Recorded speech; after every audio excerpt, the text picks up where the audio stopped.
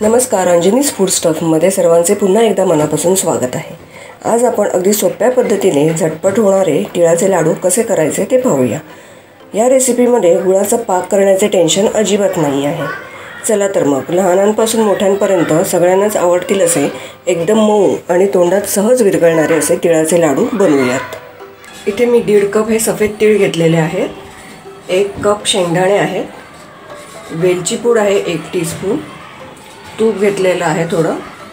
पाव कप सुकं खोबरं किसून घेतलेलं आहे.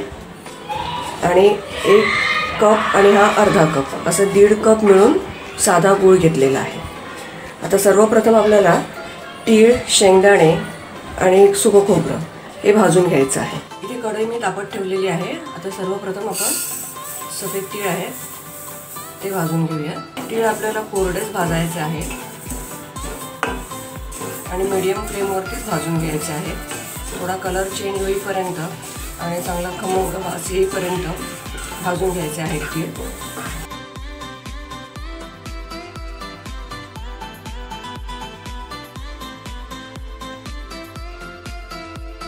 तीळ चांगले भाजले गेलेले आहे कलरही चेंज झालेला आहे.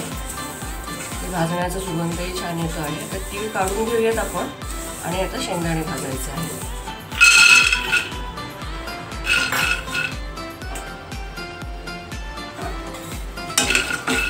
शेंगदाणे आपण छान खरपूस भाजून घेऊया. शेंगदाणेही आपले भाजून झालेले आहे शेंगदाणे काढून घेऊया आणि सुकं खोबरं जरा परतून घेऊया. इथे आता आपल्याला सुकं खोबरं भाजून घ्यायचं आहे. लालसर वगैरे अजिबात काही करायचं नाही. थोडं गरमच फक्त करून घ्यायचं आहे.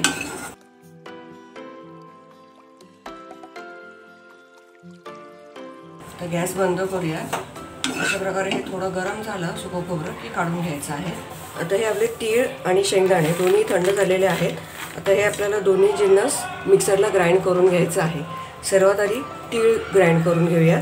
सर्वात आधी आपण तीळ ग्राइंड करून घेऊया. ह्यातले थोडे मी शिल्लक ठेवते आहे. तीळ ते आपण नंतर लाडू करताना घेऊया. एवढे तीळ आपण असेच अख्खे ठेवूया. हे ग्राइंड नाही करायचे. नंतर आपण हे ॲड करूया. हे मी तीळ ग्राइंड करून घेते. आता आपले तीळ ग्राइंड करून झालेले आहे. हे अशा प्रकारे थोडं सरसरीतच ठेवायचं आहे. एकदम पीठ नाही त्याचं बनवायचं. नाही तर अगदी तेल सुटत जातं त्याला. थोडं सरसरीतच ग्राइंड करायचे आहेत ते. हे आपण एका ताटात काढून घेऊया. आता आपण याच भांड्यात शेंगदाणे ग्राइंड करून घेऊया. मी शेंगदाणे साली सकटच ग्राइंड करते. तुम्हाला हवं तर तुम्ही साली काढूनही घेऊ शकता. पण सालीतच जास्ती सत्व असतं. म्हणून आपण सालीसकटच ग्राइंड करूया. शेंगदाणे ग्राइंड करून झालेले आहे शेंगदाणे चांगले बारीकच ग्राइंड करून घेतले आहे हेही आपण काढून घेऊया. आता ह्यात आपण सुकं खोबरं घालूया. वेलची पूड घालायची आहे. आणि हा जो गूळ घेतला होता आपण तो आपण घालूया. गूळ चांगला अगदी बारीक किसून चिरून घ्यायचा आहे. हे सर्व मिश्रण आपण व्यवस्थित एकजीव करून घेऊया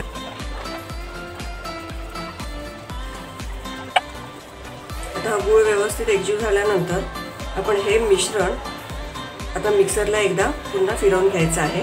म्हणजे गूळ व्यवस्थित सर्वत्र लागला जाईल. एकाच वेळेस हे सर्व मिश्रण फिरणार नाही. म्हणून आपण थोडं थोडं करून मिक्सरला लावून घेऊया असं हे आपण मिक्सरला ग्राइंड करून घेऊयात आता थोड्या वेळ आता हे ग्राइंड केलेलं तीळ शेंगदाण्याचं मिक्सर आपण काढून घेऊयात एका भांड्यात. अशाच प्रकारे मी बाकीचंही मिश्रण मिक्सरला ग्राइंड करून घेते.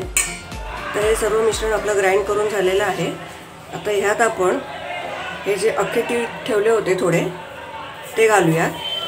थोडे असे अख्खेच घातले की ते खाताना छान वाटतात. म्हणून थोडे आपण असेच घालूयात.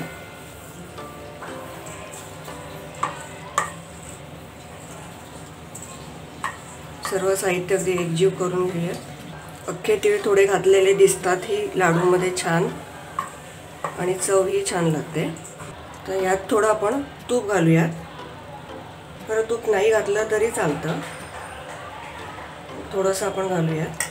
गुळामुळे लाडू चांग वळले जातातच चांगले. गुळ ग्राइंड झाल्यामुळे. पण जरा सॉफ्टनेससाठी आणि चवीसाठी थोडं तूप घालावं. तर लाडू वळला जातोय का ते आपण पाहूया.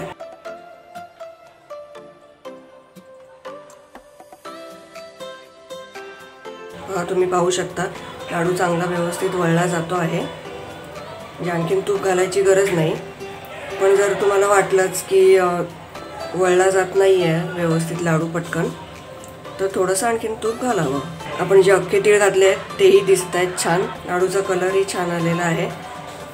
थोडे छोट्या आकाराचेच हे लाडू करावेत. म्हणजे मुलांना छान वाटतात खायला. अगदी मऊ खुसखुशीत असे हे लाडू होतात छान. पाक करण्याचं टेन्शन न घेता हे असे लाडू पटकन होणारे आहेत. पहा अशा प्रकारे हा लाडू आता आपला रेडी आहे. तसेच आपण आता बाकीचेही लाडू करून घेऊया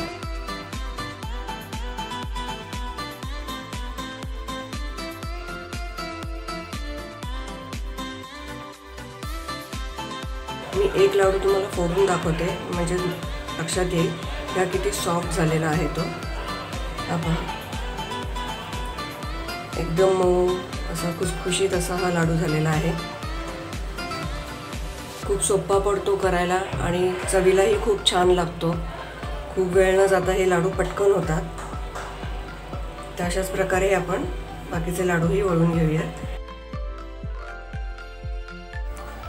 अशा प्रकारे झटपट आणि एकदम सॉफ्ट असे तिळाचे लाडू तयार आहेत. तुम्हीही हे लाडू नक्की करून पहा. आणि माझी रेसिपी कशी वाटली ते नक्की कमेंट बॉक्समध्ये मेन्शन करा.